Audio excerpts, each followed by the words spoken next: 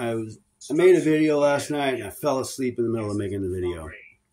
I was gonna say, so I don't know if you guys if you guys know this or not, but um, uh, some people uh, like Trudeau and uh, some other people are basically giving um, Ukraine permission to shoot fucking missiles into like Moscow and shit, and um, they're gonna start doing that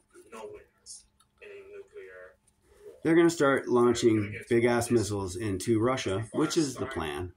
And uh, just prepare for uh, shit to go down. There will be no election. There, let me say this again. There will be no election in the United States for president or anything. And I'm I also going to tell you this. I made a video a long time ago, before the pandemic, telling everybody that I saw this video where this chick from the National Guard made a video saying we are training we are training for roadblocks and wristbands. Roadblocks and wristbands. Well, we haven't gotten roadblocks and wristbands yet, and they've been training for it, and that was before pre pandemic. So you better believe martial law, roadblocks, and wristbands are on their way.